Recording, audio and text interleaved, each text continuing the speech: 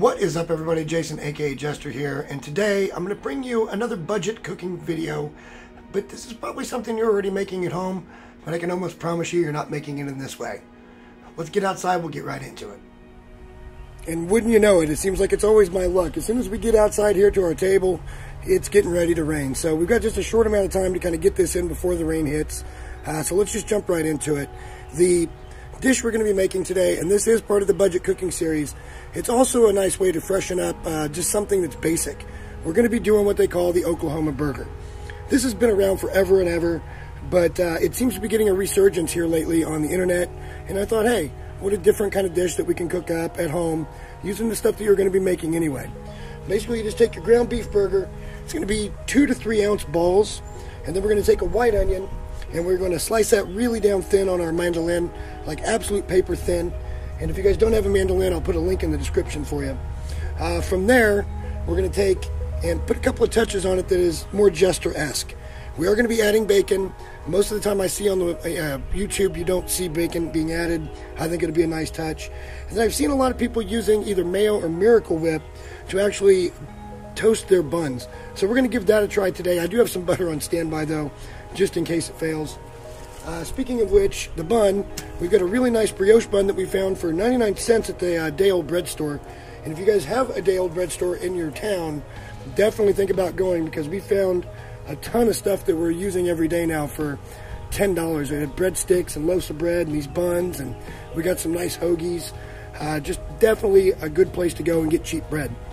We're also going to be using our uh, little smasher here because these are going to be a smash style burger. But all that being said, we're racing the weather, so let me get to cutting the onion. I'll bring you in for that. So nothing overly complicated here. What you want to do is you want to set your mandolin to the absolute thinnest you can get it. And you want to use the uh, thing that it comes with to protect your fingers. But all you want to do is just come straight across it. And we're just trying to get absolute super thin when it comes down to the onion. You can see we've got really, really nice shaved onion here. Let me get that all done. And then I'm going to go ahead and cook the bacon and I'm going to do the buns. I'm not going to bring that on camera. And then we'll show you guys the burgers going on. So now that we have the onion all finished up, we've got the bacon all crispy, we've got the burgers all balled up, uh, we are ready to go. And this is the point where you want to have everything ready. I have some American cheese over here that I didn't show you a minute ago, but it's all out of the cellophane. Everything is ready to go. So what we're going to do is we're going to drop these four balls a decent distance apart on our griddle.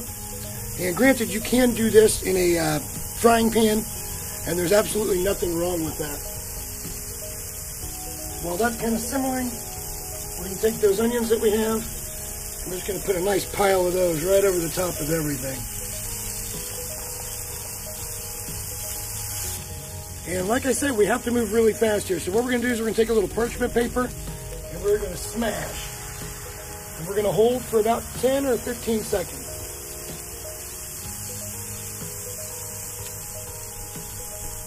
I'll repeat that on all four of them. If you don't feel like you got them down thin enough, go ahead and give them a little extra smash with your spatula. Just always hold it in place for a moment. I'm also going to season these with a little bit of salt and pepper. And we are good to go for just a minute. And now that we got the bottom side nice and crispied up, all we're going to do is flip these over. But this is where we're going to put in one of our little twists. I'm going to take a pat of butter to each one of these. I've not seen really anybody doing this, but it kind of makes sense. You're kind of turning this into a butter burger. And then all we're going to do is flip it upside down. Let that cook right on top of the onion. Pretty much instantly from there, this is why you want everything ready ahead of time.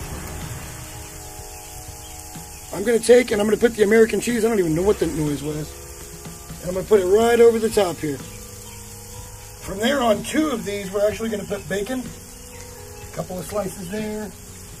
And a couple of slices here. And then what we're going to do, and I want to show you this, that's how the mayonnaise came out. It actually looks pretty good.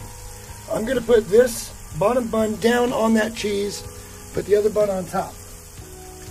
And again, this is one with butter, so you can see that it came out pretty even. And then put that one on top, and that's just going to sizzle there for about two or three minutes. Your next step is going to be taking your spatula, getting up underneath it, and flipping it right over on your plate.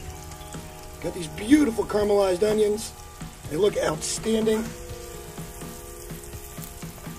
Just like so. From there, all you have to do is take this portion of burger, put that right over the top.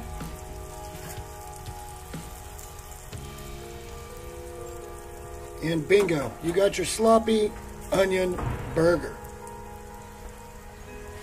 Let's put those bun tops back on. And that is a burger, boys and girls. Just look at the juiciness in that. This is going to be one of the best things you can possibly make. And it is a good budget meal because none of this really costs that much except for the ground beef and the bacon. But you could always exempt the bacon. A traditional one doesn't have that. Uh, but you know, this is this is Jester's neighborhood, so we do what we want to do around here. If you found this kind of stuff useful and uh, maybe I've helped you save some money, think about giving the video a like and uh, possibly subscribe to the channel because we've got tons more coming in the in the next few videos. Till next time, guys, thanks for watching, and we'll see you soon. Bye.